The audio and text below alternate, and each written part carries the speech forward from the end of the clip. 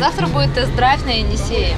Эта лодка – самое большое и заметное произведение в городе мастеров. Артем Парахин из Курагинского района сделал ее для себя. Она не продается, но подобные судна ручной работы будут стоить от 8 тысяч евро. Конечно, мало кто имел в кармане такую сумму, зато интересовался лодкой каждый второй.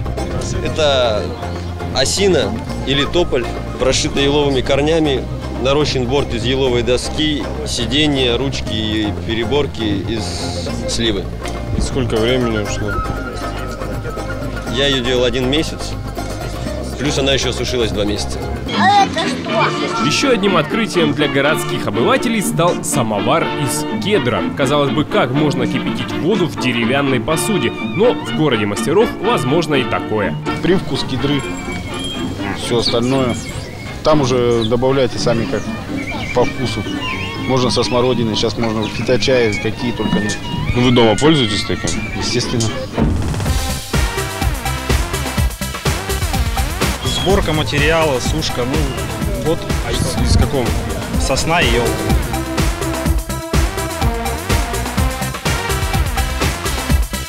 Большей части вот у нас аутентичные туиса, ну такое модное слово, на самом деле это настоящая туиса, сделанная по традиционной технологии. Можно попить квас. Прям как и термос хороший служит. Мы с утра вот залили, он до самого вечера, он прохладный остается.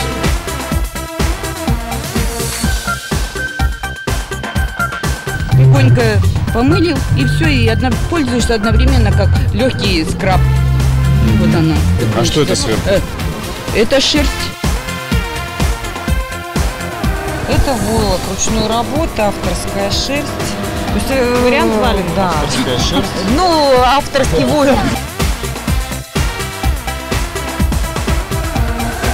А вот это вот самодельные вилы, самодельные, там коса и серп, чтобы его стянуть с лошади и заколоть. Вот, а есть такие вилы. И это вот я посвятил памяти о 200-летии победы России над Францией. Что касается национальных музыкальных инструментов, то ими в городе мастеров можно было снабдить не один ансамбль, причем некоторые служат не просто для извлечения звуков. Люди его приобретают э, для того, чтобы, ну, как работать с ним, да, работать э, как и духовно. Также он нужен для себя, вот для личностного роста, то есть какие-то проблемы, бубен он помогает, то есть, в принципе, психолог не нужен.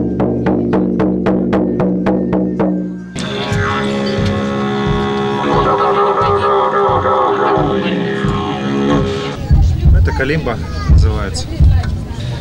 Ну, сейчас он уже распространился везде уже, можно сказать, не только в Африке. Больше мастеров, а значит больше интересных вещиц. Пожалуй, никто не уходил отсюда с пустыми руками. И еще никогда на Шушинской земле не собиралось стольких умельцев со всей России и даже зарубежья. Формат расширился, формат улучшился, формат стал а, более приближенным к э, и декоративно-прикладному творчеству в том числе. Поэтому наряду со всеми традиционными площадками, традиционными формами мы э, в этом году э, дали возможность городу мастеров расшириться не только по площади, но и по количеству техник, которые они представляют. Там есть и традиционные, и дизайнерские, инновационные вещи какие-то. Мастера не только торговали своими творениями. Хотите приобщиться? Пожалуйста. Бесплатные мастер-классы по рисованию, плетению из бересты и другим ремеслам ждали гостей в течение всех фестивальных дней. Возможно, после таких уроков мастеров в следующем году станет еще больше. Получилось.